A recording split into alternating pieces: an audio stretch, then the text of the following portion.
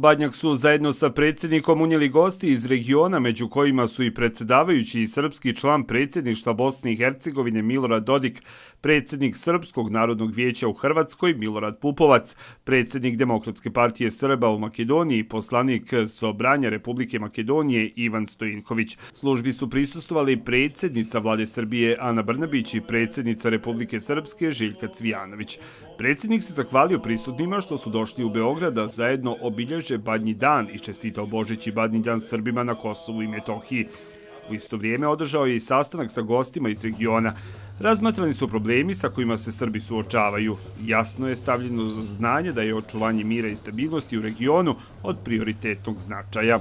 Politika koju svi vodimo jeste politika saradnje sa svima drugima, politika dobrih odnosa sa svim drugim narodima, politika u kojoj nećemo ugrožavati tuđe, bilo državne, bilo nacionalne interese, ali politika u kojoj ćemo takođe čuvati i naše nacionalne i naše državne interese. Poručuje da Srbija, ukoliko nastavi putem razvoja i ekonomskog napretka kakav je bio u 2018. godini, moće još više da pomogne našem narodu u regionu.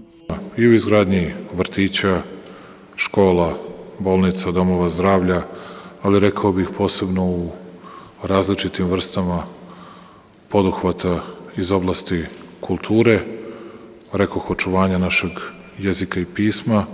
Predsjedavajući predsjedništva BiH Milorad Dodik zahvalio se na okupljanju i poručio da se tome teži kroz vijekove. Ono čemu težimo kroz vijekove, da budemo sabrani i okupljeni i nema boljeg dana od upravo Božića i ovih dana da se okupimo ovde, da porazgovaramo ne samo u svečarskoj atmosferi, u tim lijepim trenucima, nego i onome što jeste specifikum položaja našeg naroda i u Srbiji i naravno u regionu. I Dodik je podsjetio na očuvanje mira, navodeći da Srbi danas tome najviše teže.